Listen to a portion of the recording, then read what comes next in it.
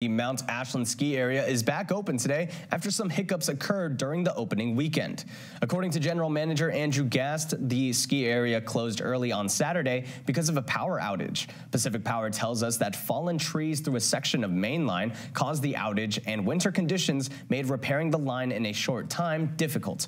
Before that, Mount Ashland, Ashland winter chairlift had mechanical issues that rendered it useless for a bit on Thursday. Gast says while the opening weekend weekend wasn't what they planned or hoped for, they're able to bounce back quickly.